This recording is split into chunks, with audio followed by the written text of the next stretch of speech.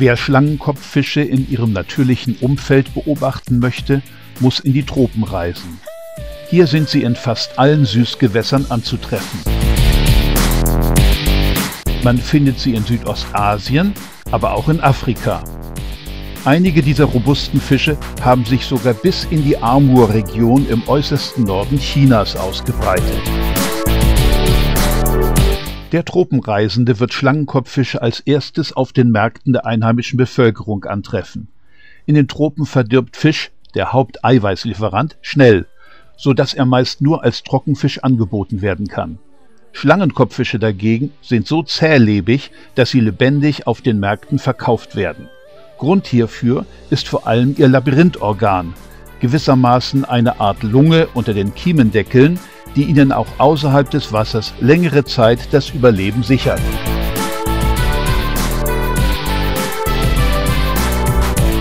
Noch schöner ist es, sich direkt bei den Fischern umzuschauen.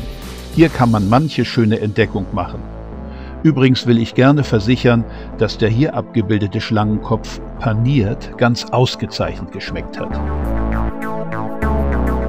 Schlangenkopffische kann man relativ leicht mit dem Netz erbeuten. Junge Channas erbeutet man meistens gleich massenweise und wenn man einige von ihnen mit nach Hause bringt, kann man sehen, was aus ihnen wird. Schlangenkopffische sind nicht immer leicht zu bestimmen und die kleinen erst recht nicht.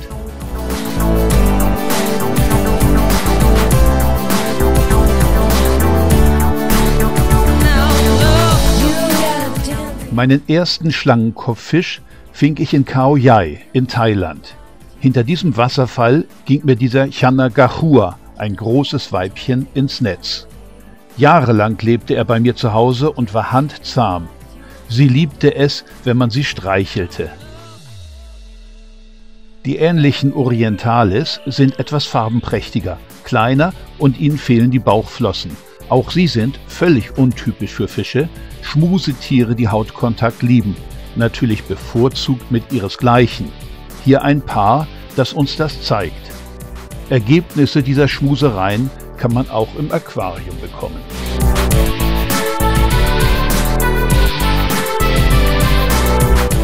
Auch unter den größeren Schlangenköpfen gibt es prächtige Tiere. Zur Zucht braucht man dann aber auch ein entsprechend großes Aquarium. Wenn man das nicht hat, sollte man gleich auf die Haltung dieser Tiere verzichten. Sonst bekommen sie wenn sie wie ich etwas zart beseitet sind, ein schlechtes Gewissen. Sehr schön und zugleich auch in mittelgroßen Aquarien zu halten und zu züchten sind die Regenbogenchannas aus Assam. Hier sieht man das Paar unter seinem Laich. Anders als einige maulbrütende Schlangenköpfe pflegen sie ihre Eier in solchen Laichklumpen. Das Paarungsverhalten dieser Art habe ich in einem gesonderten Fotofilm dokumentiert. Die jungen Regenbogenkannas pflegen zunächst engen Hautkontakt mit ihren Eltern und sie scheinen sich sogar eine Zeit lang zunächst von ihrem Körperschleim zu ernähren.